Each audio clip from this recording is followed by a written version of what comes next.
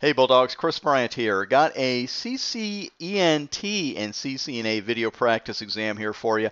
Going to hit you with two questions. One is on the board. You're going to see that in about 15 seconds. Feel free to pause the video if you want to think about your answer. And then we're going to go to live Cisco routers and see the answers in action. And if we need to do an elimination uh, of a couple of answers, we'll do that as well. Now, I've also got a second question for you that I guarantee is an important review for you, but it's not on the board. So even if you think you know the answer to this question, stick around because there's an important review ahead. Now, here's the first question. A Cisco router has just been write erased and reloaded, and I happen to have done that sitting right here. Now, when you run show IP route after the successful reload, which of the following codes should you expect to see in the IP routing table? C, S, R, D, E, none of these, or all of these? I felt like I was reading a chart in the uh, getting new glasses. so which one is clearer, the, the left eye or the right eye? So when we run this, what should we expect to see in the routing table by default?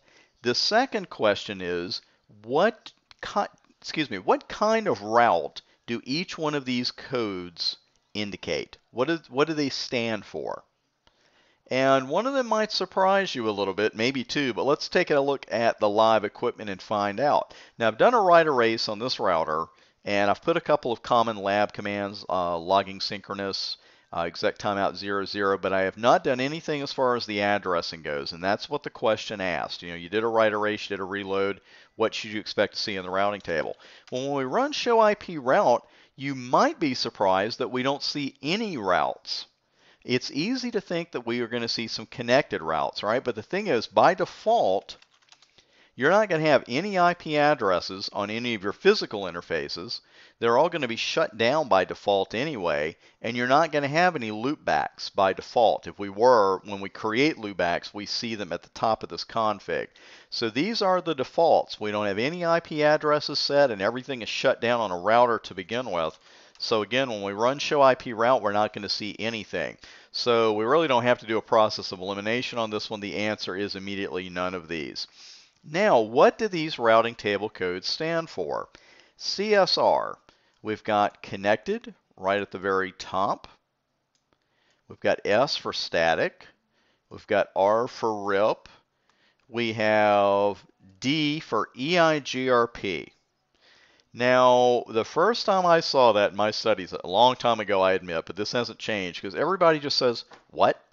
You know, because you're going right along, right? C for connected, S for static, R for RIP, O for OSPF. Uh, and then all of a sudden you're like, where's this D coming from? Why isn't it E? Well, you're going to see here in the routing table a protocol that you are not going to see on your CCENT or CCNA exams. You're not even going to see it on the CCNP.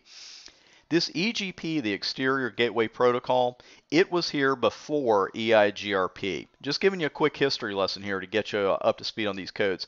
This IGRP protocol you see here, this is now obsolete and Cisco routers no longer support it. The IOS doesn't support it. It's off the CCNA exams. The reason I'm bringing it up is that the E in EIGRP stands for enhanced. It's an enhanced version of the original protocol. But when they got around to the routing table code, you know, you couldn't pick E for EIGRP because E was already taken.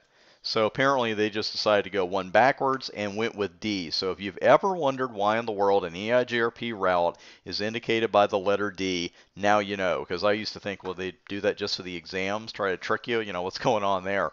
Uh, but that is not the case, I assure you. Let's not be paranoid. We got enough work to do as it is. Again, that E, you will not see the EGP protocol on your CCENT or CCNA exams. We've got enough to do as it is. But the key here is to remember that your EIGRP code is D and not E. That concludes today's video practice exam. Hope to see you out on our YouTube channel. We're headed for 6,000 subscribers as I speak and our Twitter and Facebook feeds as well. I'm Chris Bryant and thanks for making TBA part of your CCNA and CCENT certification success story.